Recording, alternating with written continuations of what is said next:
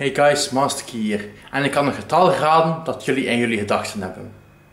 Neem een getal tussen 0 en 50, maar het moet twee cijfers bevatten. Het de twee cijfers moeten oneven zijn en mogen niet hetzelfde zijn.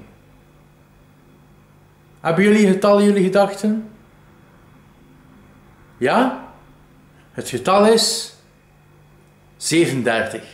Als ik het juist had, abonneer dan op mijn kanaal en like deze video. See you next time.